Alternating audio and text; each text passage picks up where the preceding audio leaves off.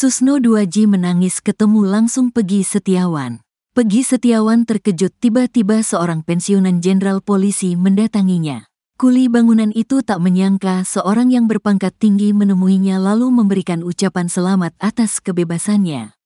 Pria yang sebelumnya dituduh sebagai tersangka pembunuhan Vina Cirebon itu buru-buru membungkuk dan memberikan salam. Purnawirawan Jenderal berusia 70 tahun itu memperlakukan Pegi berbanding 180 derajat dengan institusi tempatnya berdinas dulu. Sang jenderal itu bernama Susno Duaji. Susno menyambut hangat Pegi dengan sapaan serta kelakar. Mereka dipertemukan dalam sebuah acara televisi swasta. Akhirnya ketemu dengan Pegi, saya dalam perjalanan ke sini nonton TV di mobil.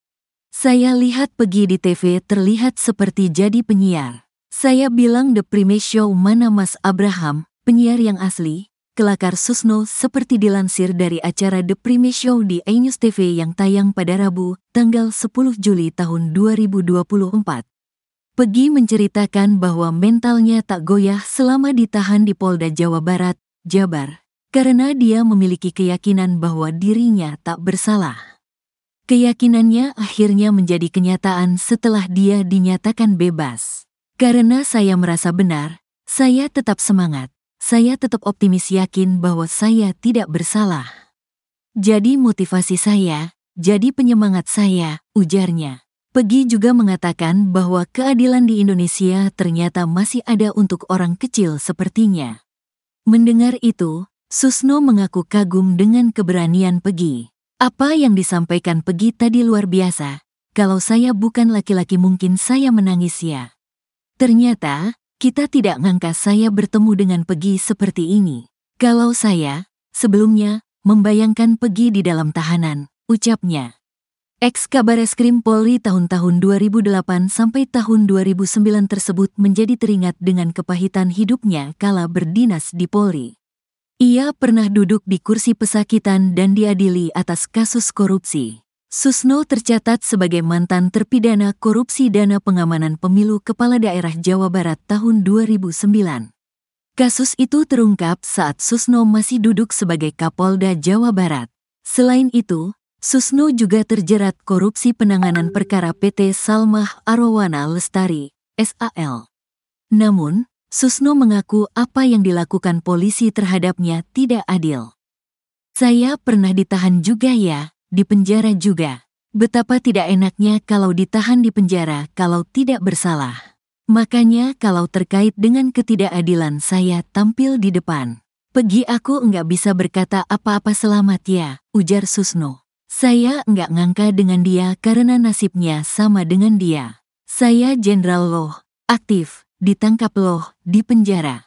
Ya udah mudah-mudahan ke depan Indonesia bagus, pungkasnya. Mata Susno lalu berkaca-kaca. Susno yang awalnya gengsi untuk menangis, terlihat menitikkan air mata. Sudah prediksi Pegi menang pra-peradilan ex kabar eskrim Polri, Komjen Pol Purnawirawan, Susno Duaji, sebelumnya pernah memprediksi Pegi Setiawan akan bebas dari gugatan pra-peradilan.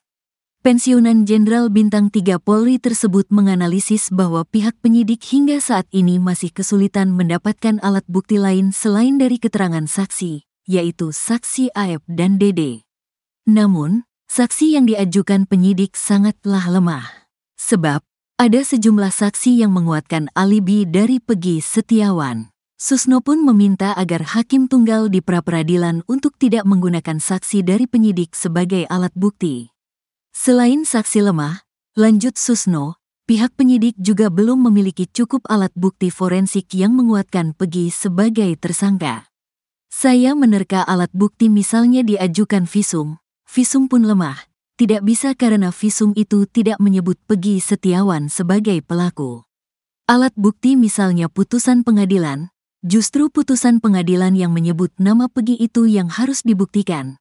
Jadi bukan menunjuk bahwa Pegi pelakunya, Ujarnya dalam acara kabar petang di TV One yang tayang pada Kamis, tanggal 13 Juni tahun 2024. Susno meyakini Pegi Setiawan tidak disebutkan di laporan polisi. Alat bukti lainnya untuk membuktikan Pegi sebagai tersangka juga sulit didapat seperti bercak darah korban di baju Pegi Setiawan atau bercak sperma di tubuh Vina. Pasalnya, kasus ini sudah lama tak ditangani. Adakah sidik jari Pegi Setiawan yang nempel di alat bukti yang digunakan untuk melakukan kejahatan dan pemerkosaan ini sulit didapat? Adakah CCTV ini sulit didapat? Adakah alat bukti yang tinggal di dalam HP di mana posisi Pegi Setiawan pada tanggal 27 Agustus tahun 2016 ini sulit didapat? Jadi kita tunggu hakim yang adil, katanya lagi. Berdasarkan pengalamannya, sebagai kabar eskrim Polri yang menjabat dari 2008 hingga 2009, Susno melihat gugatan pra-peradilan ini kerap dimenangkan oleh penyidik. Pihak penggugat biasanya kerap dikalahkan. Namun, karena kasus ini dalam pengawasan publik, Susno yakin pertandingan ini akan berjalan fair. Mudah-mudahan jalannya fair, kalau dilihat dari alat bukti bahwa ini kelihatan sulit menyatakan bahwa penahanan atau penangkapan sah. Itu sulit, pungkasnya. Pegi dinyatakan bebas sidang pra-peradilan yang berlangsung di Pengadilan Negeri Bandung, Jawa Barat memutuskan penetapan Pegi Setiawan sebagai tersangka tidak sah. Menetapkan surat ketetapan tersangka batal demi hukum menyatakan tidak sah segala keputusan yang dikeluarkan lebih lanjut oleh termohon terhadap penetapan tersangka, ujar Hakim Tunggal, Eman Sulaiman pada Senin, tanggal 8 Juli tahun 2024. Ibu Pegi Setiawan, Kartini, yang mendengar putusan hakim tersebut menangis. Air mata Kartini bercucuran. Perempuan berkerudung biru dan berbaju putih itu lalu memeluk sejumlah kuasa hukum yang mendampinginya. Sembari nangis sesenggukan dan terbata-bata, Kartini berterima kasih terhadap masyarakat Indonesia yang mendukung dan mendoakan Pegi. Saya berterima kasih kepada Pak Hakim, seluruh masyarakat Indonesia yang mendukung dan mendoakan Pegi. Hari ini doa kami terbukti. Anak saya tidak bersalah, katanya. Sementara itu, Suka Esi, Ibu Vina, 49, meminta agar pelaku yang sebenarnya segera ditangkap. Ia mengikuti putusan hakim yang mengabulkan permohonan Pegi Setiawan. Inginnya pelaku sebenarnya ditangkap, bukan yang asal tangkap. Dari keluarga ibu sendiri pengen cari tiga DPO, daftar pencarian orang, kata Sukaesi. Tiga DPO itu terkait kasus pembunuhan Vina dan Eki pada tanggal 27 Agustus tahun 2016 silam. Diketahui, pada 2016, Polisi menetapkan 11 tersangka dalam kasus pembunuhan Vina dan Eki di Cirebon, Jawa Barat. Kemudian, delapan pelaku telah diadili, yakni Jaya, Supriyanto, Eka Sandi, Hadi Saputra, Eko Ramadhani, Sudirman, Rivaldi Aditya Wardana, dan Saka Tatal. Dari proses persidangan, tujuh terdakwa difonis penjara seumur hidup. Sementara satu pelaku bernama Saka Tatal dipenjara 8 tahun karena masih di bawah umur saat melakukan kejahatan tersebut. Namun, diketahui ada tiga orang pelaku yang belum tertangkap dan masuk daftar pencarian orang, DPO, dengan perkiraan usianya saat ini, yakni Pegi alias Perong, 30, Andi, 31, dan Dani, 28. Delapan tahun berlalu, Polisi membuka lagi perkara ini usai menangkap salah satu buron, yakni Pegi Setiawan alias Egi alias Perong pada tanggal 21 Mei tahun 2024. Menariknya, Pegi alias Perong dinyatakan sebagai tersangka terakhir dalam kasus ini. Padahal, diketahui sebelumnya ada tiga orang buron. Polisi lantas merevisi jumlah tersangka menjadi sembilan orang dan menyebut bahwa dua tersangka lain merupakan fiktif belaka. Namun, belakangan banyak kesaksian yang menyebut bahwa Pegi yang saat ini ditangkap tidak terlibat dalam pembunuhan Vina karena berada di Bandung saat peristiwa terjadi. Kemudian, perhatian publik mengarah pada Ibtu Rudiana yang diduga melakukan permainan dalam penyelidikan kasus pembunuhan Vina dan Eki tersebut. Kecurigaan mulai membanjiri kasus pembunuhan Vina dan Eki menjelang putusan sidang pra peradilan. Putusan sidang itu akan disampaikan oleh Hakim Tunggal Eman Sulaiman di Pengadilan Negeri Bandung pada Senin 8 Juli 2024.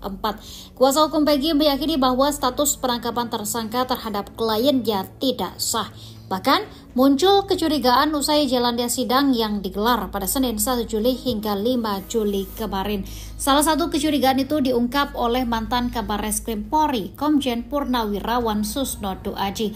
Susno justru menaruh kecurigaannya kepada salah satu saksi kasus pembunuhan Vina dan Eki yakni AF.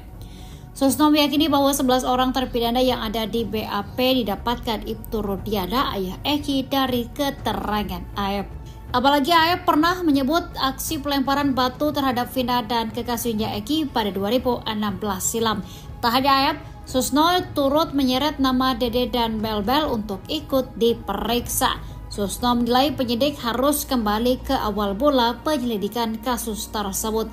Ia juga meminta penyidik harus membuka CCTV terkait kasus tersebut. Terlebih, dirinya mendengar bahwa ada gua Ibtu Rudiana yang telah menyita CCTV tersebut. Susno juga meminta Peggy Setiawan asal Cianjur juga ikut diperiksa agar kasus tersebut terang benderang.